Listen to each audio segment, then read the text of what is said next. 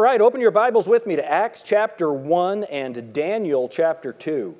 Acts chapter 1 and Daniel chapter 2.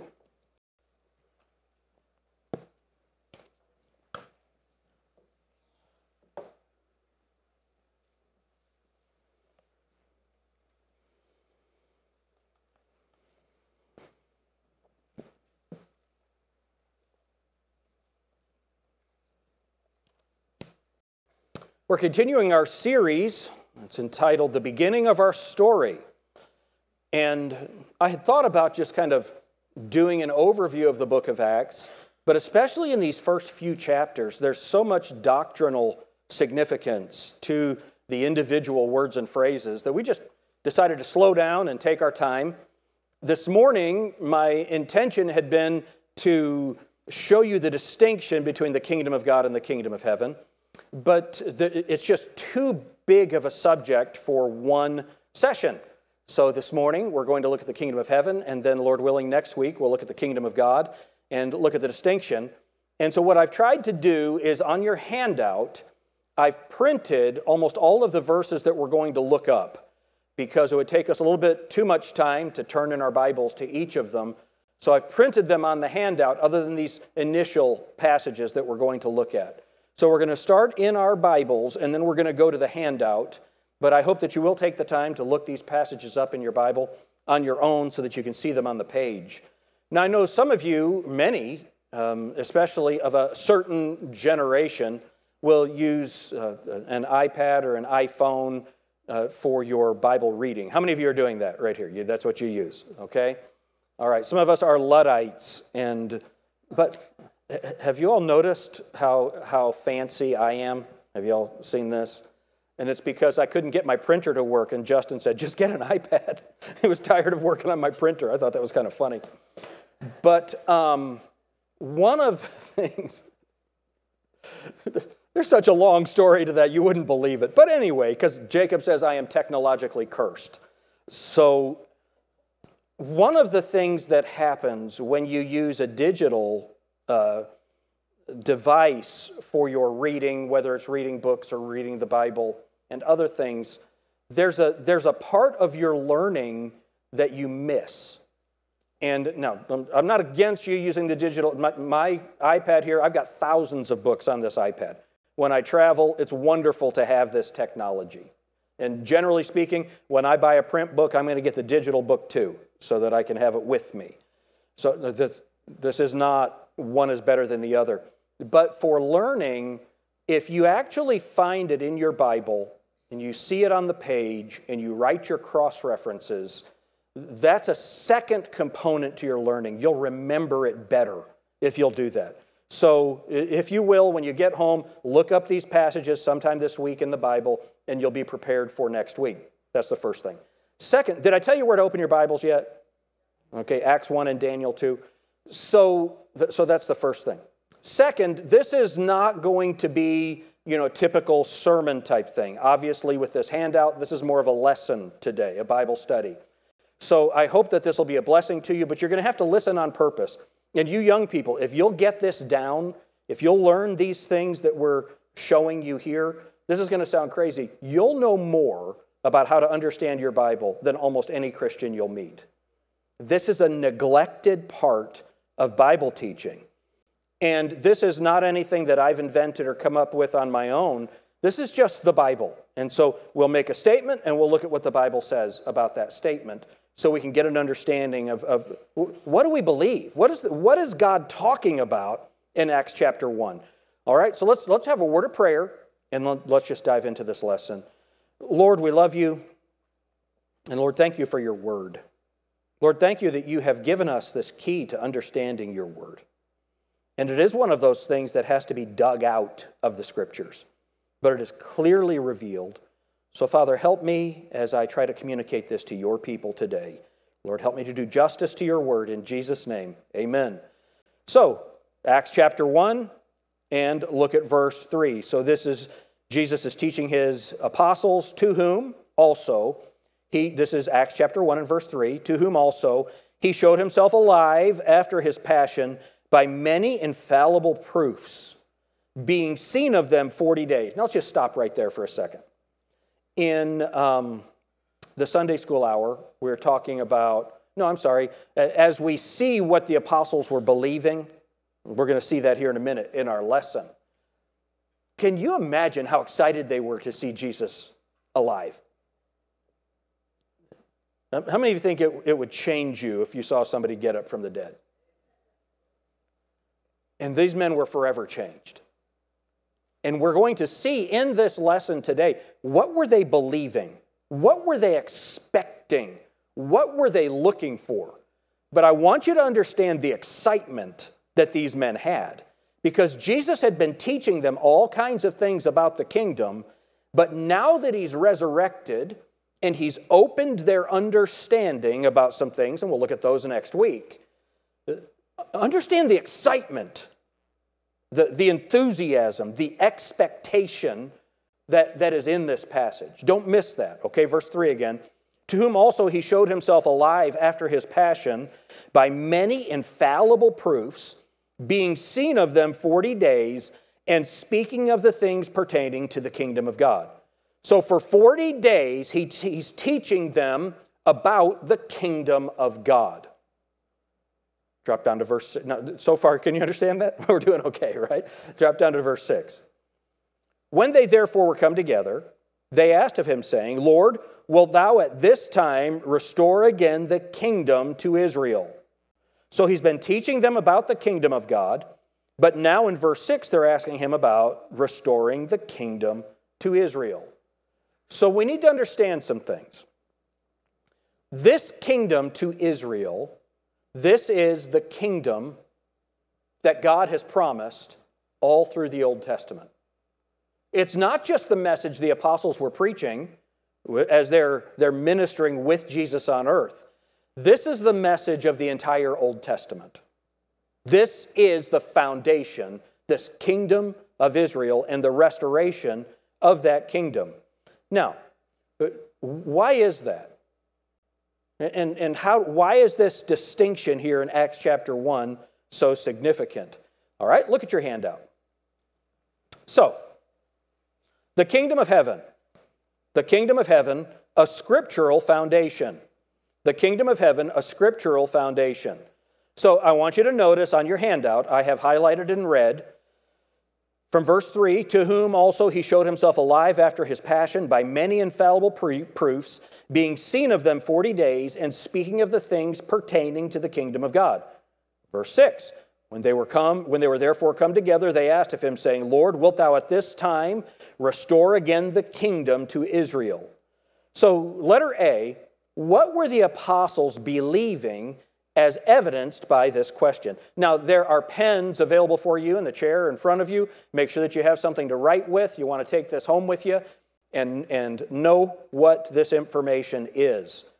All right? So, Letter A, what were the apostles believing as evidenced by their question?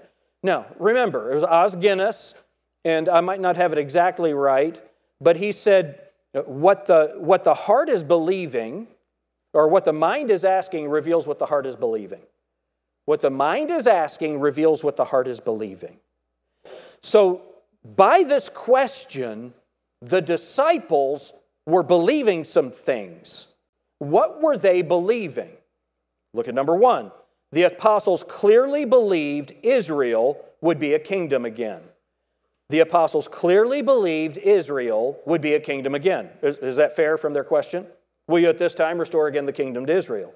Number two, they believed this kingdom would be a restoration. It would be a restoration of a kingdom. Number three, they believed that the Messiah would be sitting on David's throne. They believed the Messiah would be sitting on David's throne. Number four, they believed that Jesus would reign over the house of Jacob.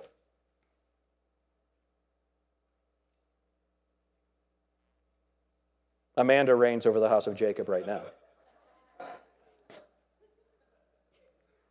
They believed that Jesus would reign over the house of Jacob. Number five, they believed that Jesus would reign over the house of Jacob from Jerusalem. From Jerusalem. Are you seeing that there were some specific, there's specific meaning, there's specific content to this question? And because of the, the devotional type teaching that is done in Christianity, mostly about how am I going to make it through the day, how am I going to live, all of those things, this most important part of the Bible is often neglected. So let, us keep going. I almost distracted myself right there.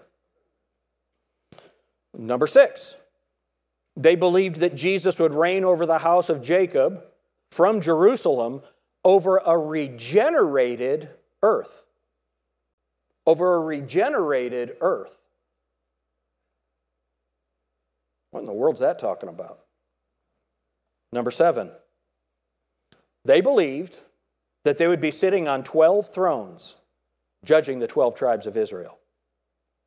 They believed that they would be sitting on 12 thrones judging the 12 tribes of Israel. Letter B. Why would they believe such nonsense? Jesus had just died. Everything has changed. Why would they believe this nonsense? Not only that, they all died horrible deaths. Does that mean that this promise of the kingdom? Jesus promised them the kingdom, didn't he? This is what they were believing. They all suffered. Oh, I believe all of them were martyred. They all died for their faith. What about this kingdom? Why would they believe it? Because a kingdom is promised in Scripture. A kingdom is promised in Scripture. So look at your handout. I have the verses here. Luke 1 32 through 33. He shall be great and shall be called the Son of the Highest. And the Lord shall give unto him the throne of his father David, and he shall reign over the house of Jacob forever, and of his kingdom there shall be no end. That's what they believed. That's what they believed. And, and how do we know that? Because that's written in the book of Luke. Matthew, Mark, Luke, and John this is where the Holy Spirit brought to their remembrance the things that they had been taught. This is what they believed. This is what Jesus Christ had given them. They were trusting in it. Well, letter C, that's great, but what about the specific kingdom details they were believing? Why would they still believe these things? Number one, the apostles clearly believed Israel would be a kingdom again. The apostles clearly believed that Israel would be a kingdom again. Letter A. Why? Because they were Jewish and believed the Jewish scriptures literally.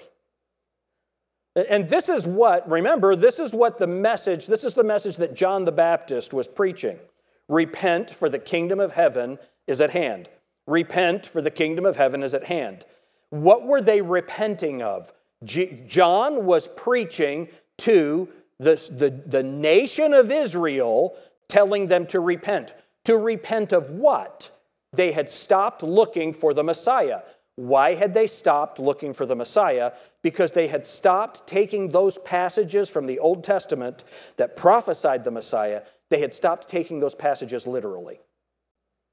That was their sin. That was their confusion. They were allegorizing those passages from the Old Testament. Why are people so confused today? Why don't people believe that Jesus Christ is going to return and establish a kingdom? Because they are not taking those passages literally today. So, the same message that John the Baptist was preaching, that's the same message that Jim the Baptist needs to preach today. Repent, believe the Bible. Amen? Believe the Bible. They were Jews and they took the Jewish scriptures literally. All right, that's letter A. Letter B. The dream is certain, the interpretation thereof sure. What is that from? Now go to Daniel chapter 2.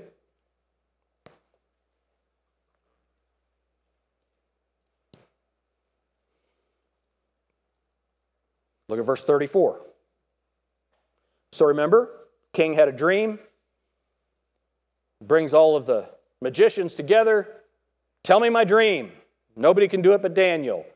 Daniel tells him the dream and gives the interpretation. So here's him telling the dream. So if you look at verse 34,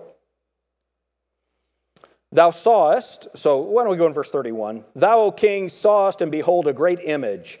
This great image, whose brightness was excellent, stood before thee, and the form thereof was terrible.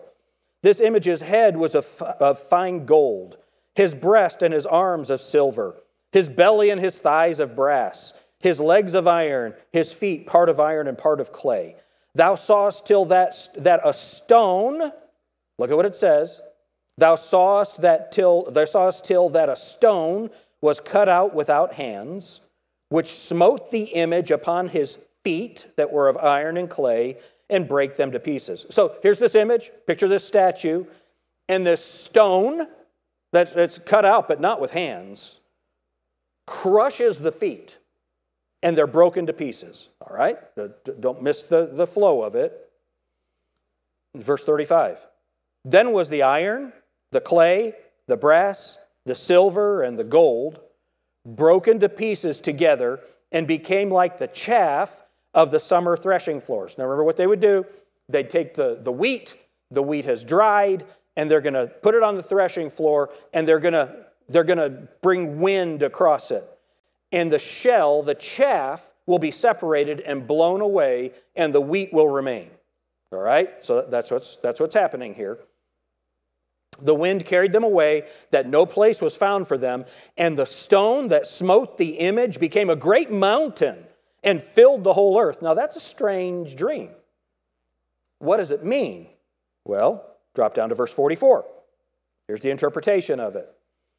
And in the days of these kings, so these four parts of the image, they represent different kingdoms Greece and Persia and Rome and, and Babylon. All right? And in the days of these kings shall the God of heaven set up a kingdom. Oh. So let, let me tell you what that means. Here's the interpretation The God of heaven is going to set up a kingdom. That's what it means. So the God of heaven is going to set up a kingdom. What do you think we're going to call that kingdom that the God of heaven sets up? It's going to be the kingdom of heaven. The God of heaven is going to set up a kingdom, and then look at what it says about it. And in the days of these kings shall the God of heaven set up a kingdom which shall never be destroyed and the kingdom shall, be not, shall not be left to other people, but it shall break in pieces and consume all these kingdoms, and it shall stand forever. Forasmuch as thou sawest that the stone was cut out of the mountain without hands, and that it brake in pieces the iron, the brass, the clay, the silver, and the gold, the great God hath made known to the king what shall come to pass hereafter, and the dream is certain, and the interpretation thereof sure. So, when does this happen? Look at what it says. It gives us the time. God hath made known to the king what shall come to pass hereafter, and the dream is certain, and the interpretation thereof sure. So, I want you to understand yes, this is a dream, this is a vision, but it is certain, and the interpretation is sure. This is going to happen. When? Hereafter. Hereafter. When is hereafter? Go to Revelation chapter 4.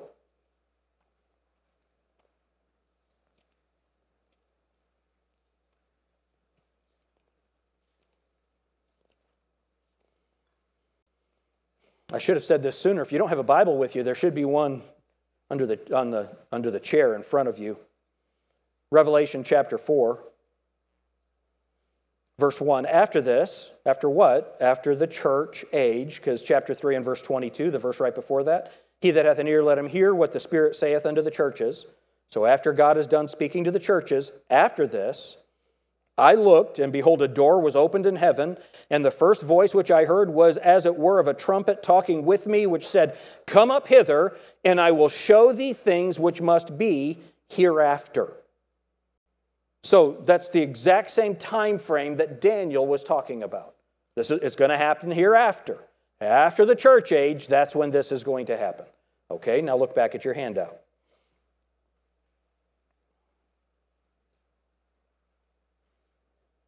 So, number one, the apostles clearly believed that Israel would be a kingdom again. Why? Because they were Jewish and believed the scriptures literally, and the dream is certain, the interpretation thereof is sure. This is what they believed. Number two, they believed this kingdom would be a restoration. They believed that it would be a restoration. Because in Acts chapter 1 and verse 6, will thou at this time restore the kingdom to Israel? That's their assumption. That's what they were believing, that it was going to be a restoration.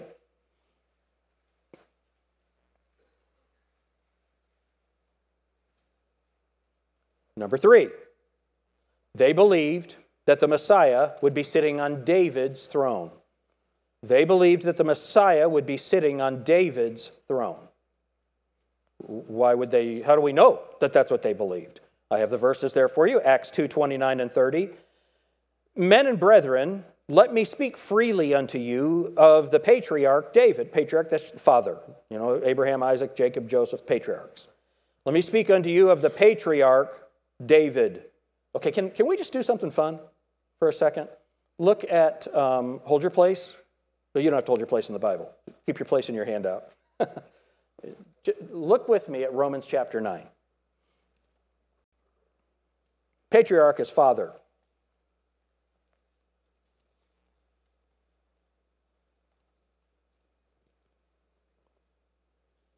So the Bible talks to patriarchs, it's talking about the fathers. Okay? Verse 1, Romans chapter 9 and verse 1 I say the truth in Christ, I lie not, my conscience also bearing me witness in the Holy Ghost, that I have great heaviness and continual sorrow in my heart, for I could wish that myself were accursed from Christ. Look at what it says. For my brethren, my kinsmen according to the flesh, who are Israelites. So Paul was an Israelite, and he's, he, he wants the Israelites to be saved. Verse 4 who are Israelites, to whom pertaineth the adoption. Only Israel is the only nation adopted by God. The United States is not adopted by God. Uh, Argentina is not adopted by God. Only Israel. The rest of the nations, the Bible says in the book of Isaiah, are like a drop in the bucket. That's what the Bible says about the rest of the nations. Only Israel is adopted. Who are Israelites, to whom pertaineth the adoption. That word pertaining is fun in, in uh, uh, Acts chapter 1 and verse 3. Jesus is speaking to them of things pertaining to the kingdom of God. He only talked to them about the things pertaining to the kingdom of God, not the kingdom of heaven. Here, he's speaking of things pertaining to Israel, whose are the adoption and the glory and the covenants. The church doesn't have covenants. Isn't that interesting? We don't believe in covenant theology because the covenants are for Israel and we're not Israel. We're the church. All right? And the giving of the law. God didn't give the law to the church, God gave the law to Israel. Amen? How many of you are glad you're not under the law? Christ hath redeemed us from the curse of the law, being made a curse for us. For it is written, Cursed is everyone that hangeth on a tree. He's redeemed us from that curse, all right? Who are Israelites, to whom pertaineth the adoption and the glory and the covenants and the giving of the law in the service of God. We don't make sacrifices anymore. We, we don't, I, I'm not your priest, I'm your pastor. Amen? The, the Levitical priesthood is done. Jesus, that all pointed to Jesus. And when, the, when Jesus died on the cross and that veil was rent in two from top to bottom, now we all have access to the very throne of God through Jesus Christ, the great high priest. But the service was given to the Jews, the service of God, and the promises. What promises? The promises that are talked about in Romans chapter 11 the whole context of Romans 9, 10, and 11, it's all about that God's not done with Israel because the gift and calling of God are without repentance. The promises of God are sure. Oh, verse 5 whose are the fathers? The church doesn't have fathers. The church, Jesus said, Call no man on earth your father. The church does not have fathers. Israel had fathers, the patriarchs, Abraham, Isaac, Jacob, and Joseph. Years ago, I was, uh, uh, having breakfast with Jacob, and it was always hard for me to talk to kids. I couldn't talk to kids when I was one. So I, I would always talk to them about the Bible, about doctrine and stuff. And so I asked Jacob, he, 10, 12 years old, why is it important to be a Baptist? And he thought about it and he said, because Baptists are the only group without a human father, without a human founder. So the Lutherans have Luther, Presbyterians have Knox, right? The Methodists have Wesley. The Baptists go all the way back to Christ and his apostles, and Jesus Christ is the head of the church. There's no human founder of the church other than the man, Christ Jesus. Praise the Lord for that. So, this father thing, this patriarch thing, it's really important. And this is when we're talking about this kingdom of heaven versus the kingdom of God. Here's the primary distinction that I want you all to get. All right, this isn't in your notes, but I want you to get this. And you might want to write it somewhere on your notes. Israel is a physical kingdom. We could all get on a plane tomorrow and fly to Israel. Right? It's a place. It's a nation that wasn't a nation and is a nation again, according to the book of Ezekiel. And, and you can go to that place, Israel. The land that God gave to the people, it's still His land, but you could go and stand on that land, that very land, today. It's a, it's a physical place. The church is not physical, it is spiritual. The church is not physical, it's spiritual. Our promises and our life are spiritual, not material. The reason that the, that the, the health wealth gospel, the word of faith gospel, you know, like only believe, where we would differ, one of the primary areas we would differ with, with only believe ministries, one of the primary differences is it's what's called that health wealth gospel. And it's very much a materialistic faith. Now, I'm thankful for every saved person that goes to that church. Amen, aren't you? Praise God for that. But the difference, in, how many of you know that our church is a little different than their church? The primary difference is we understand, according to the Word of God, that the promises for the church are spiritual, not physical. The kingdom is promised, the kingdom of heaven is promised to Israel. The patriarchs, the fathers, that's flesh. That's uh, physical. Remember what the Bible says? He came unto his own, his own received him not. But to as many as received him, to them gave he power to be called the sons of God who were born not of the flesh, but of the Spirit. By the way, I was really proud of you all when Brother Dave would ask you verses and you would finish them. Remember, he said, How do you know that? Because we're a Bible teaching church. Amen. I love it. I love it. So, the, you see, we're born of the Spirit. Now, how many of you have flesh? If you're not sure, pinch yourself. Okay? We have flesh, but that flesh is what kills us. The Spirit is what makes us alive.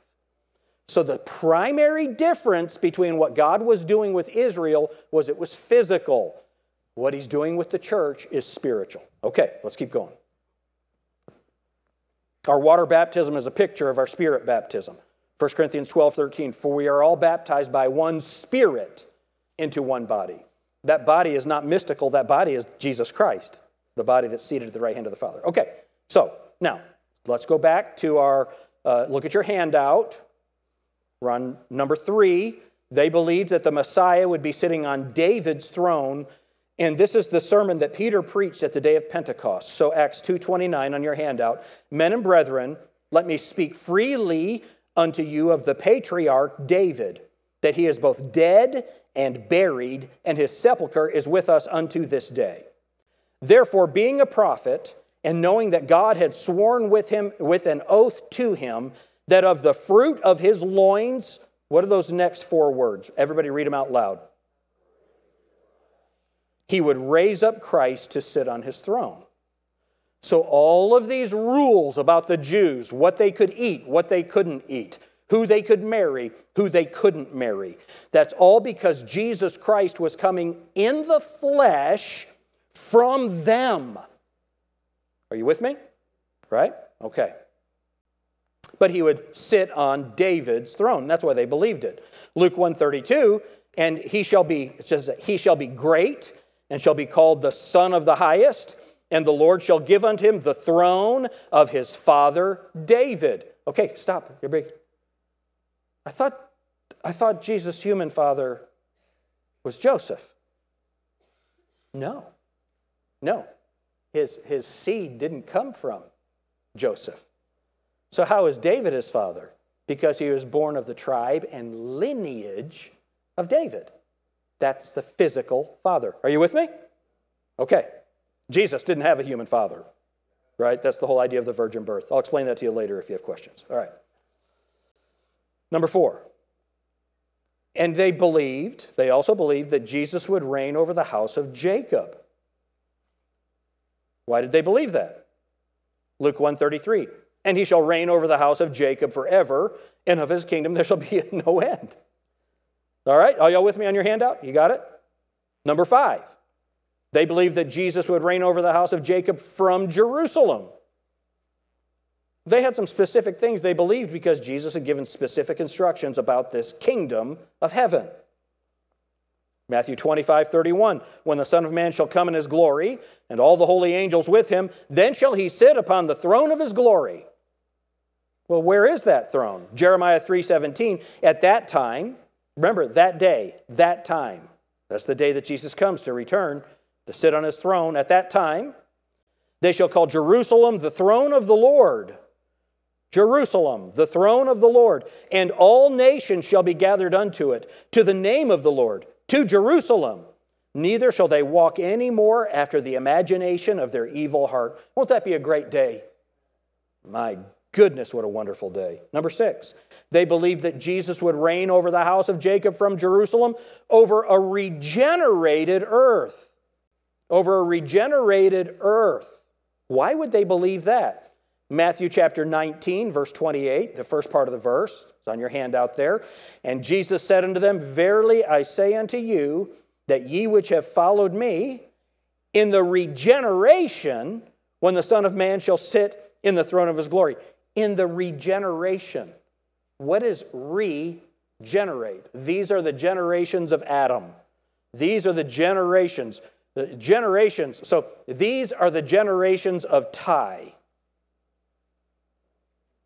Simon, son of Tyrone.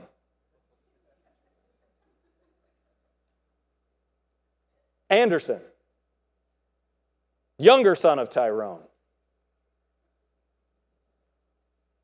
Eva, daughter of Beelzebub. No, daughter of Tai. These are the generations of Tai. These, this is the offspring. This is the birth. What is regeneration? You must be born again. So when the Bible talks about regeneration, when we speak of regeneration, we're speaking of the new birth. How many here born again? You are regenerated. That's the new birth. And that's the promise that one day you'll actually get a new body. Praise God for that. So, the, so what is the regeneration of the earth? What's that talking about? Well, we're not going to take the time to go through it today. But during the tribulation period, God destroys the earth. So let's just look at one small portion of it. Go to Revel, Revelation chapter 8.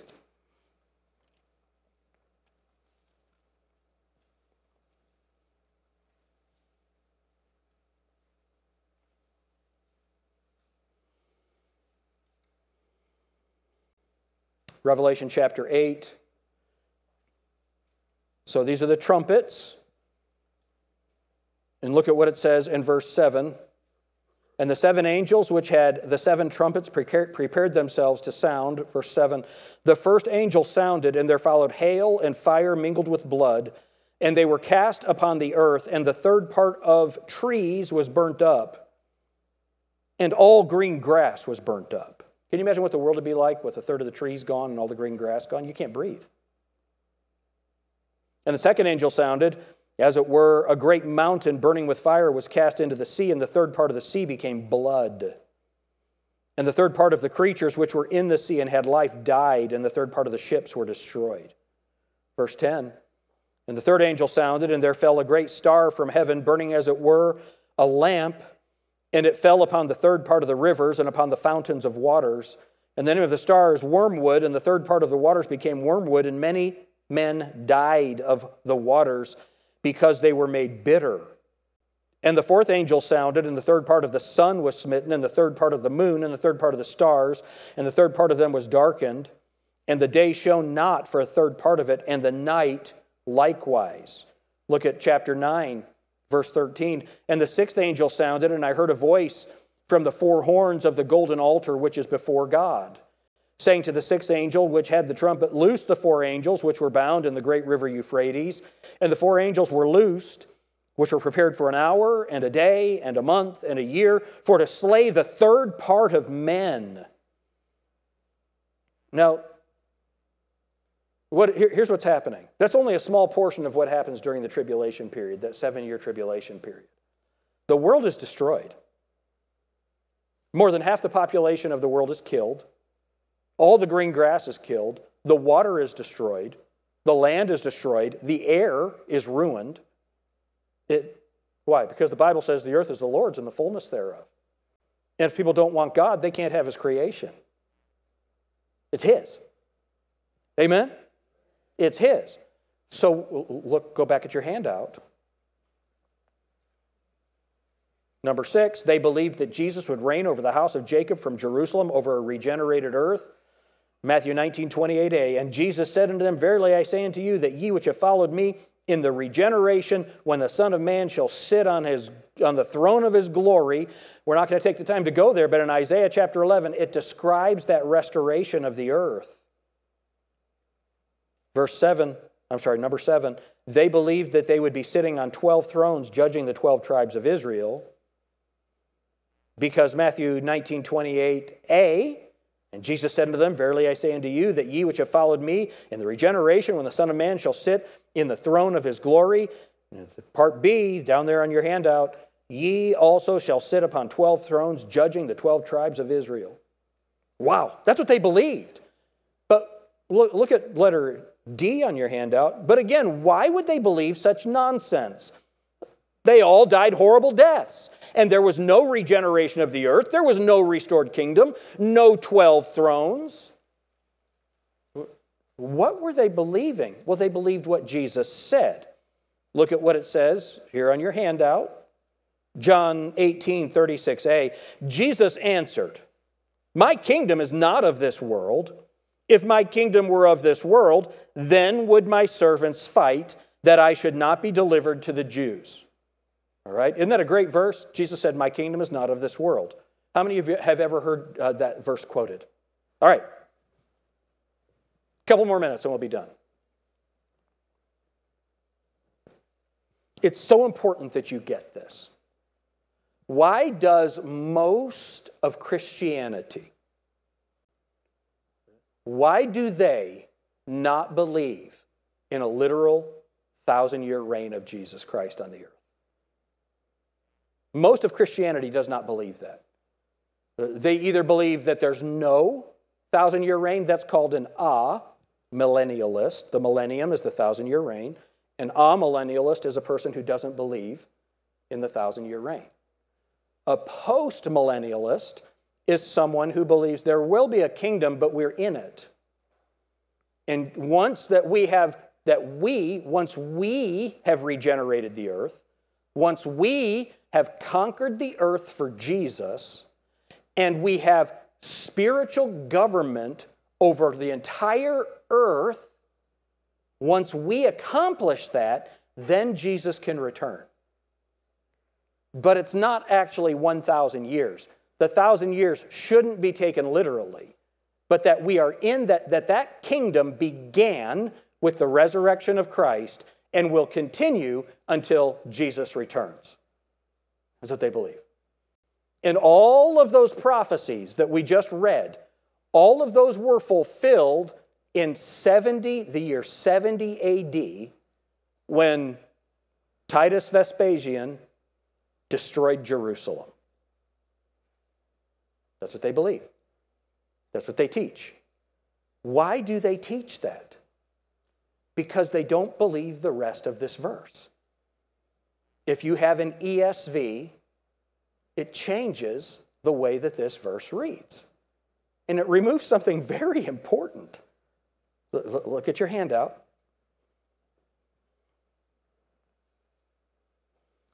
So, number one, John 18 36a, Jesus answered, My kingdom is not of this world. If my kingdom were of this world, then would my servants fight that I should not be delivered to the Jews. But look at the rest of the verse. But now is my kingdom not come from, or is, I'm sorry, but now is my kingdom not from hence. But now, but now, but now. Jesus let himself be killed. Jesus let himself be taken. He demonstrated, remember, at the Mount of Transfiguration, he met with Moses and Elijah, and what were they talking about? The death that he would accomplish. Well, it's an accomplishment for God to die. And that was the whole purpose of his body. God can't die. So the Father prepared for him a body that could die. That body died for you and for me on the cross. He had to be spat upon, he had to be beaten, he had to be mocked.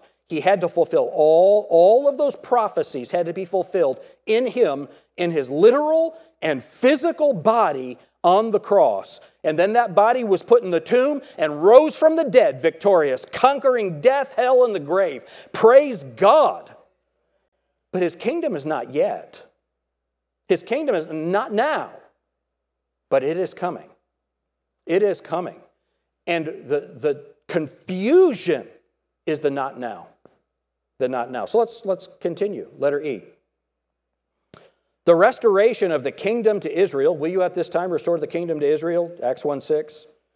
The restoration of the kingdom of Israel is the theme of 500 plus passages in the Old Testament. Do you realize how much Bible you have to ignore to miss this? Number two, Isaiah, more than 100 verses. More than 100 verses. Ezekiel, 12 chapters. Jeremiah, 100 plus verses. Daniel chapters 2, 7, 9, and 12. And then the whole book of Zechariah. This is the theme of the Old Testament. All right, so let's finish it up with this. Look at your handout, number two. Number one is always long, isn't it? Number two, God always tells us what we need to know.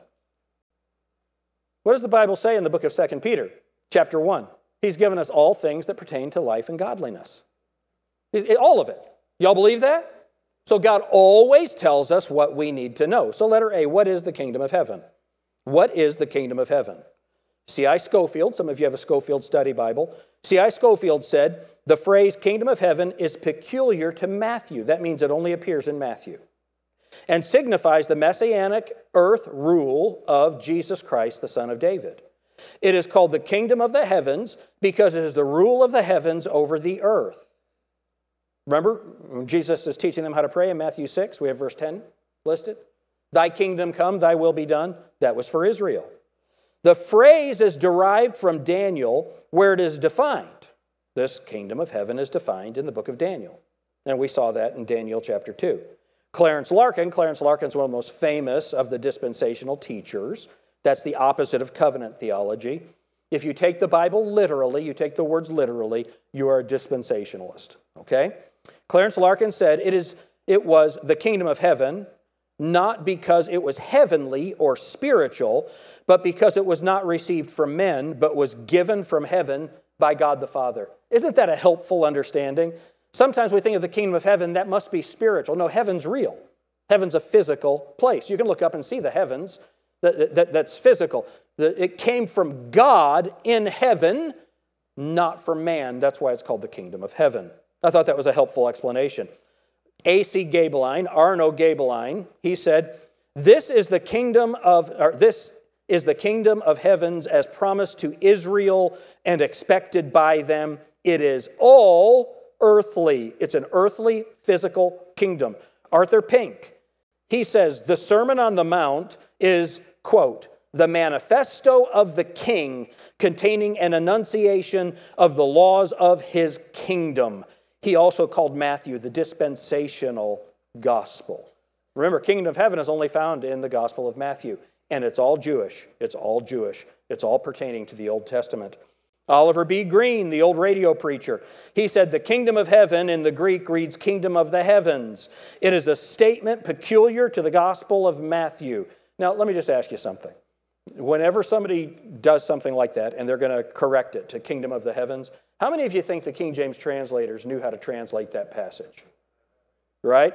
Now, we understand that the Bible talks about the third heaven. The first heaven is where the birds fly. The second heaven is where the stars are. The third heaven is where God is. That's heavens. But this is a specific characteristic, not of the first heaven or the second heaven, but of the third heaven. That's why the King James translators have it as heaven. That's easy to understand, right? The context defines how you translate. All right, the kingdom of heaven in the Greek reads kingdom of the heavens, but this is a good statement and is a statement peculiar to the Gospel of Matthew. It speaks of the millennium, the 1,000 year reign of Christ here on earth when he reigns as the Son of David. So God always tells us what we need to know. Number three, God always tells us when we need to know it. God always tells us when we need to know it. Go back to Acts chapter 1. Oh, I've got it printed for you on your handout. Acts chapter 1 and verse 7. And he said unto them, Number three on your handout, do you see that? God always tells us when we need to know it. Acts 1 7, and he said unto them, It is not for you to know the times or the seasons which the Father hath put in his own power. Now, this is so important. Look, letter B. Notice what Jesus did not say. Notice what Jesus did not say. He did not correct the premise of their question. So look at Acts 1. Look at verse 6.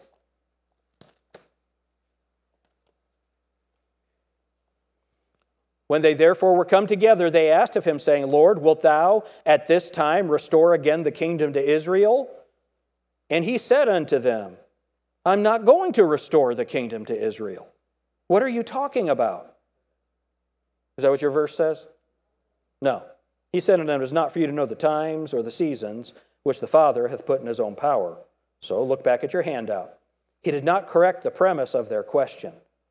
He did not tell them that the kingdom to Israel will now be a spiritual kingdom. That's what most of Christianity teaches. That's not what the Bible says. Number three, he said, in our words, not yet. Will you at this time restore the kingdom to Israel? Not yet. Amen? What does he want them to focus on? He just spent 40 days with them telling them the kingdom of God. The church teaches the kingdom of God. The kingdom of heaven is for Israel. But if we're going to interpret our Bible, we need to know what the kingdom of heaven is.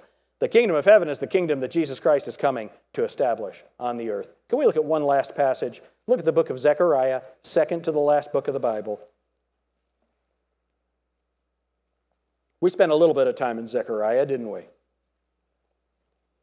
Zechariah chapter 14.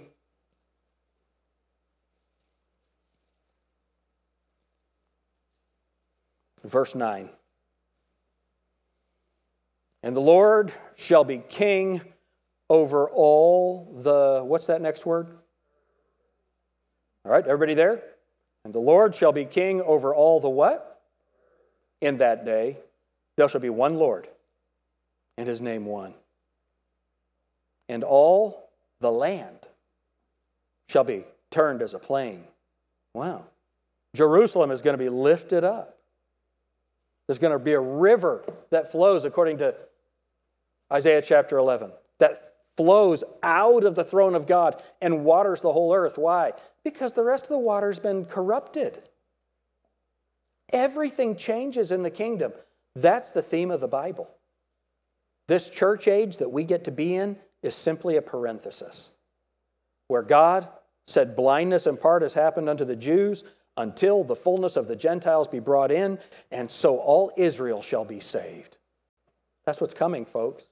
That's what's coming. But in the meantime, it's our job to tell people about Jesus. We need to know. God has told us how to understand the Bible. He's given us the keys to understanding the Bible, and then He's given us a commission Go ye into all the world and preach the gospel to every creature. Because we, if we get focused on this world and how bad it is, then we'll feel like God has failed. God's not failed anything. He told us evil men and seducers shall wax worse and worse. He told us that this world will degenerate until he takes the church out and comes and judges the rest of the world. That's what the Bible says. Why should we expect anything other than what the Bible says? Amen?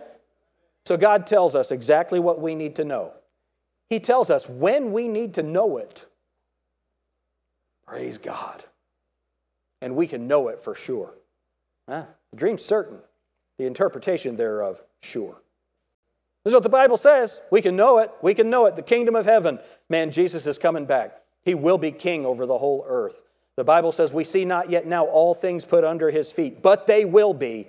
Every knee's going to bow and every tongue is going to confess that Jesus Christ is Lord to the glory of the Father.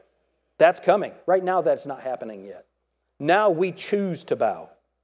Eventually, you won't be able to. Let's choose to. Amen. He's our Lord. Let's bow before our Lord. Let's all stand together.